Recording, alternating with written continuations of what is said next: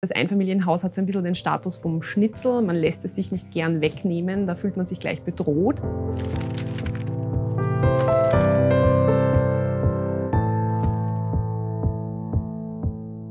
Ich bin Franziska Zeudel, ich bin im Immobilienressort beim Standard und ich beschäftige mich mit dem Bauen und dem Wohnen.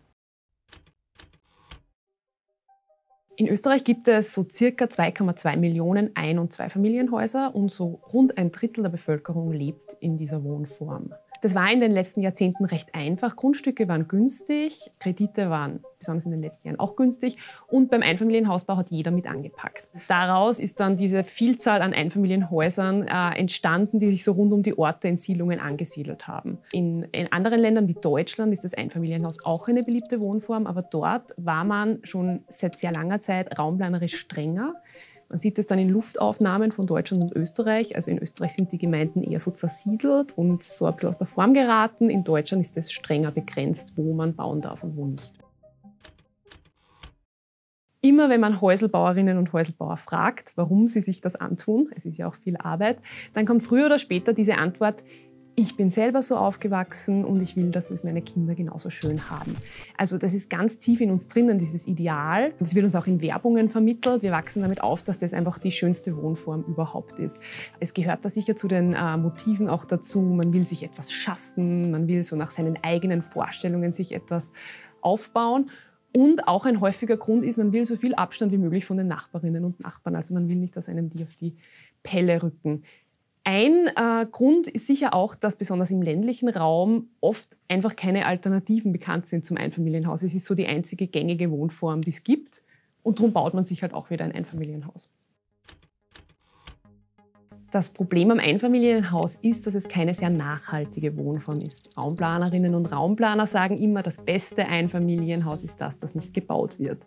Ähm, es gibt da nämlich so mehrere Probleme. Einerseits sind die Einfamilienhäuser in den letzten Jahrzehnten sehr oft so außerhalb der Ortschaften entstanden und diese Zersiedelung hat ein Mobilitätsverhalten begünstigt, das auf das Auto fixiert ist. Wir kennen es alle, an den Ortsrändern sind in den letzten Jahrzehnten riesige Einkaufszentren entstanden, in die alle mit dem Auto zum Einkaufen fahren und gleichzeitig sind die Ortskerne ausgestorben. Ein weiteres Problem des Einfamilienhauses ist der Bodenverbrauch. Das ist in Österreich mittlerweile eh bekannt. Wir sind da Europameister. Wir verbrauchen viel zu viel Boden. Bei uns sind es äh, 12 Hektar pro Tag. Das Ziel wären 2,5 Hektar.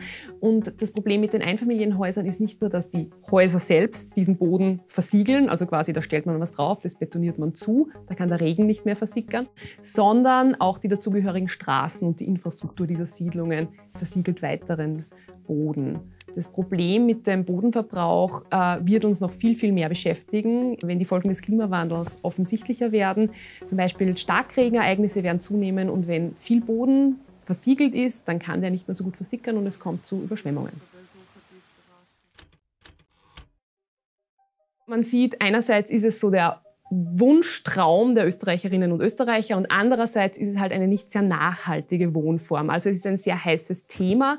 Die Regierung hat im Februar ein Wohnbaupaket ähm, präsentiert. Damit will sie auch den Häuselbauerinnen und Häuselbauern unter die Arme greifen. Es gibt zum Beispiel ähm, günstigere Darlehen von, in einer Höhe von maximal 200.000 Euro mit einer Verzinsung von 1,5 Prozent. Das ist aber jetzt nicht an irgendeine nachhaltige Bedingung geknüpft. Also das heißt, das kann sich jeder abholen. Womit man so ein ein bisschen in Richtung Nachhaltigkeit die Leute lenken könnte. Es gibt in einigen Ländern ähm, Förderungen, wenn man zum Beispiel im Ortskern saniert.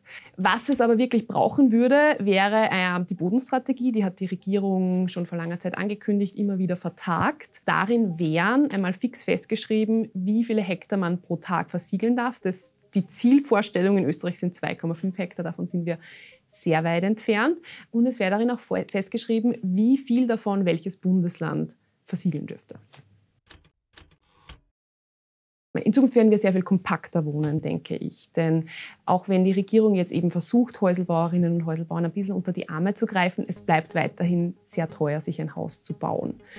Ich denke, dass wir in Zukunft ähm, Wohnformen wie ein Atriumhaus oder Reihenhäuser noch viel, viel häufiger sehen werden und dass das Sanieren im Bestand eine größere Rolle spielt und dass es da sehr viele spannende Projekte, noch mehr als es jetzt schon gibt, geben wird, weil Häuser sind ja genug vorhanden in unserem Land.